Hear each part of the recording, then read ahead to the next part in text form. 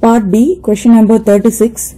Calculate the Karl Pearson correlation coefficient for the following data. X is the demand of product and Y is the sale of product. So using the assumed mean deviation method for calculating the Karl Pearson coefficient of correlation, the formula is R is equal to n sigma dx dy minus sigma dx into sigma dy whole thing divided by root of n sigma dx square minus sigma dx the whole square then root of n sigma dy square minus sigma dy the whole square. Now let us do the sum. Draw 8 columns. First column write down the serial number. Then second column capital X. Third column capital Y. Fourth column X minus A that is assumed mean and that is denoted by dx. Then next column Y minus A that is dy. Then next column dx square. Then next column dy square and the last column dx into dy. So first write down the serial numbers. There are 10 values given. So write down from 1 to 10. Then fill the x column. Write down the numbers that is demand of product x 23, 27, 28, 29, 30, 31, 33, 35, 36 and 39. Then write down the y column sale of product 18, 22, 23, 24, 25, 26, 28, 29, 30 and 32. You can make a total of these two columns now itself. So the total of x column is 311 that is sigma x and the total of y column is 257 that is sigma y. Now let us find the actual mean using the formula that is x bar is equal to sigma x by n.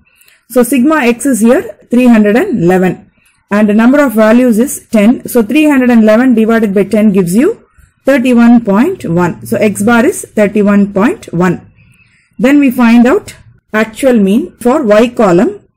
So the formula here is y bar is equal to sigma y by n. So the total of y column is 257 divided by number of values 10 gives you 25.7. So taking the nearest values to the actual mean, we take 31 as the assumed mean for x and 26 as the assumed mean for y. Now subtracting 31 from x values, 23 minus 31 gives you minus 8, 27 minus 31 gives you minus 4, 28 minus 31 gives you minus 3, 29 minus 31 gives you minus 2, 30 minus 31 gives you minus 1, 31 minus 31 is 0, 33 minus 31 is 2, 35 minus 31 is 4, 36 minus 31 is 5 and 39 minus 31 is 8. Now next we have the y column and the assumed mean here is 26.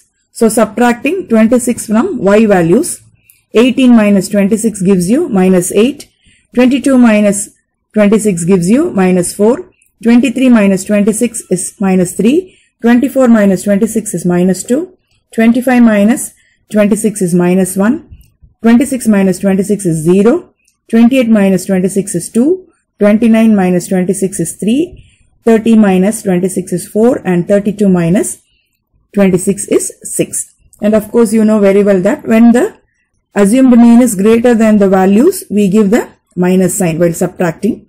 And if the x values or the y values are greater than the assumed mean, we give the plus values.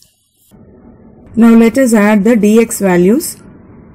dx value add all the positive integers and add all the negative integers separately. Subtract and give the symbol of the greater number. So answer here is 1. Then add all the dy values. Add the negative integers separately, positive integers separately. Subtract and give the symbol of the greater number.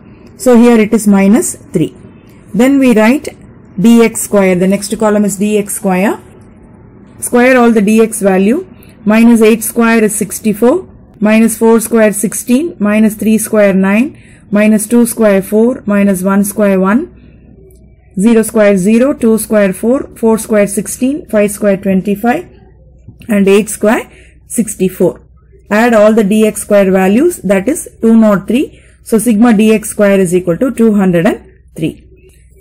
Then square the dy values minus 8 square 64 minus 4 square 16 minus 3 square 9 minus 2 square 4 minus 1 square 1 0 square 0 2 square 4 3 square 9 4 square 16 and 6 square 36 add all the dy square values. It is 159 so sigma dy square is equal to 159 then multiply the values of dx and dy. So minus 8 into minus 8 gives you 64 so minus into minus is plus there. Minus 4 into minus 4 16 minus 3 into minus 3 9 minus 2 into minus 2 4 minus 1 into minus 1 1 0 into 0 0 2 2s are 4 4 into 3 12 5 into 4 20 then 8 into 6 48 then add all the dx dy values. It gives you 178 so sigma dx dy is equal to 178 now substituting the values in the formula r is equal to n into sigma dx dy minus sigma dx into sigma dy the whole thing divided by root of n into sigma dx square minus sigma dx the whole square into root of n into sigma dy square minus sigma dy the whole square. So n is number of values here is 10 and the total of dx dy that is sigma dx dy or summation of dx dy is 178. So 10 into 178 minus sigma dx is 1 and the sigma dy is minus 3. So 1 into minus 3 there. Then in the numerator root of n is 10 there sigma dx square. That is the total of dx square is 203 so 10 into 203 minus sigma dx. That is the total of dx. That number to be squared. So 1 square into root of 10 into n n is 10 there into sigma dy square is 159 so 10 into 159 minus sigma dy is minus 3 so minus 3 the whole square.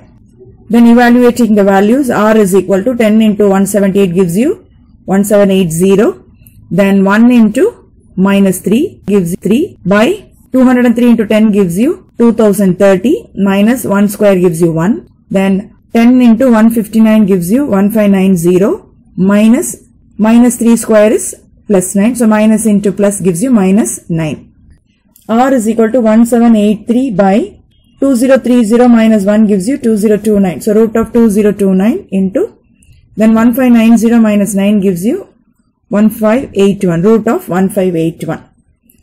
Then R is equal to 1783 divided by so root of 2029 is 45.05 and root of 1581 is 39.76 multiplying 45.05 into 39.76 R is equal to 1783 by 1791. On dividing 1783 by 1791, it gives you R is equal to 0.9955. Since the value is in positive, there exists a positive high correlation between X and Y.